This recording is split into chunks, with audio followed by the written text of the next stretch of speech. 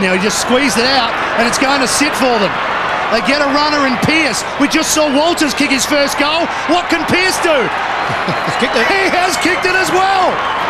Docker's back in front.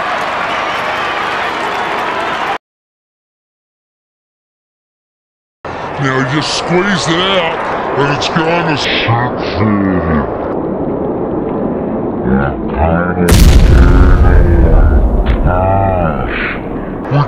saw Walters kick his goal.